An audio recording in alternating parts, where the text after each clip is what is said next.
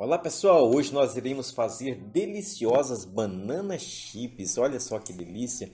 Ela fica bem crocante, pessoal, pronta para você comer, para você vender também, porque o pessoal ama muito comprar banana chips bem salgadinho.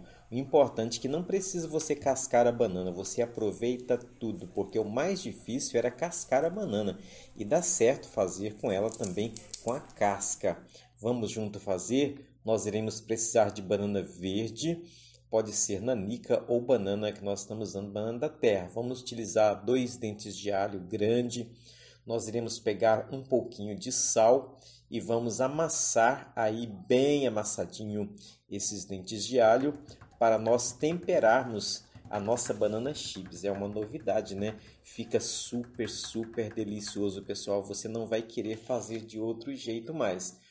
Só iremos lavar bem lavada com uma bucha esta banana do jeito que ela foi colhida. Vamos lavar e vamos então pegar um ralador desse fatiador que corta as fatias bem fina, ou mesmo com a sua faca bem amoladinho, dá para fatiar bem fininho as bananas.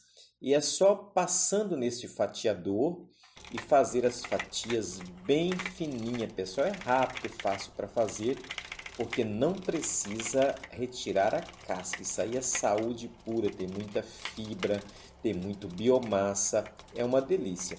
Eu tentei fazer na iFry não deu muito certo. Diz a minha esposa que era necessário colocar um pouquinho de óleo. Vou tentar novamente, né, para ficar mais saudável ainda.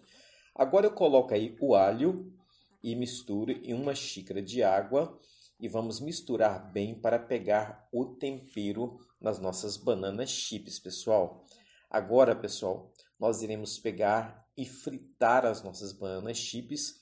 Em uma panela, nós iremos colocar o óleo vegetal óleo de soja e vamos esperar dar o ponto de fritura. Quando nós colocarmos uma das rodelinhas e ela fritar, você pode colocar as demais e nós vamos colocando, colocando aos poucos. Se colocar tudo de vez, ela vai agarrar uma na outra, né?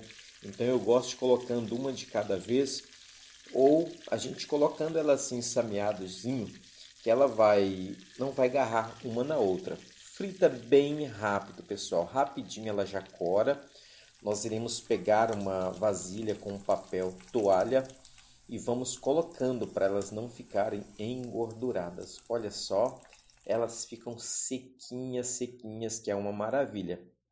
Se você desejar, você pode colocar mais uma pitadinha de sal na hora de você servir ela ou na hora de você ensacar ela para vender, pessoal. Então você pode fazer, eu sei que você vai amar essa delícia. Olha só como ficou crocante. Espero que vocês tenham gostado dessa receita e possa fazer, experimentar e você vai fazer diariamente.